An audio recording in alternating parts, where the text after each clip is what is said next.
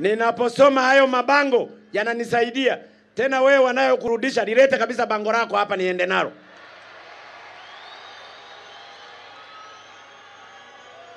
Mwacheni huyo mle alete bango lake.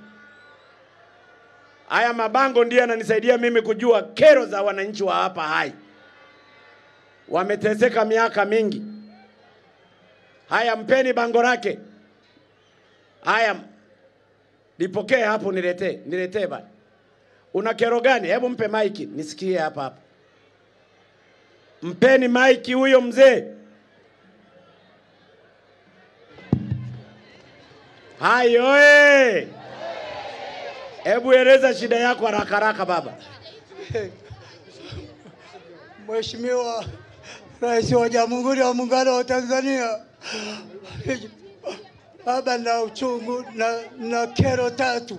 Ndiyo baba, sema Kero. tu baba yangu. Mimi ni mwenyeji wa kule Arusha, se, mwenyeji wa kule Arusha, wilaya ya Lumeru. Mtoto wangu alipewa mimba na kijana ambao wana uwezo, akaishia mitini.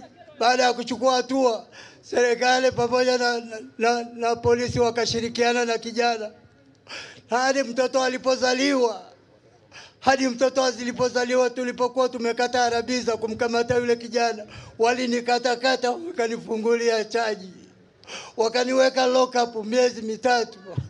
Baada ya kuniweka mita, miezi mitatu, mimba bado inaendelea kujiunga ndani ya tumbo la mtoto wangu. Sisi tulishindwa kutoa kwa sababu sisi ni Wakristo. Mtoto alikuwa mtoto alimaliza miezi tisa. Baada ya kumaliza miezi tisa, alimzaa mtoto vizuri, nikimsimamia pale wilaya ya Tengeru.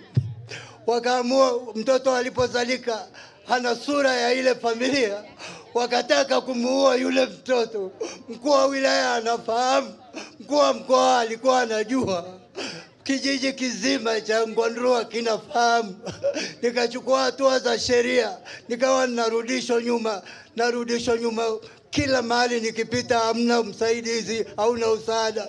Ndipo nilipoamua kwenda kwa Mheshimiwa Rais Kikwete, na baada ya hapo nilikwenda Ilikuwa mwaka gani baba?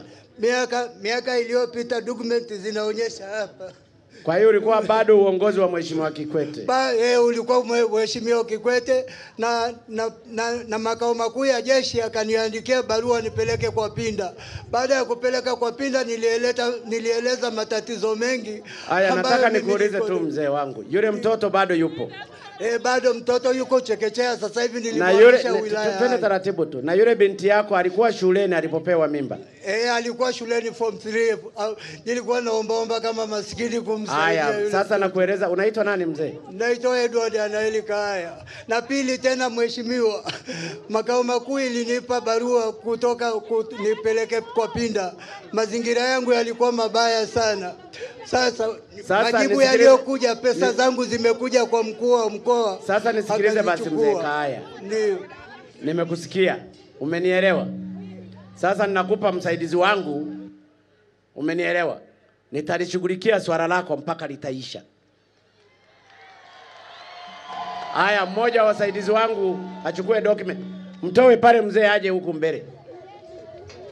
Fungua hilo geti.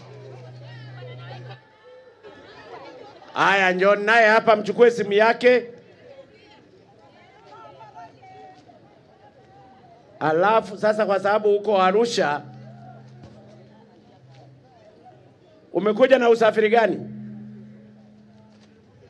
Tutaenda wote Arusha, mumuweke kwenye gari langu, kwenye gari twende naye Arusha.